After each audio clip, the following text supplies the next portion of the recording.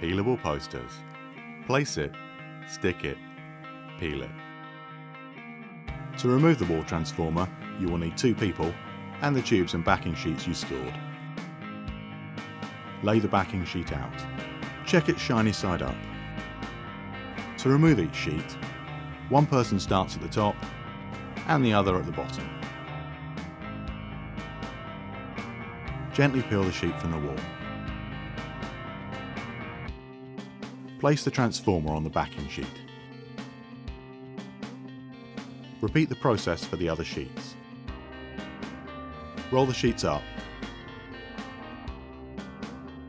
and store them in the tube.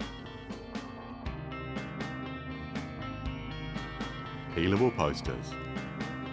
No more tape, no more sticky tack, no more pins. Find us online at www.peelableposters.co.uk.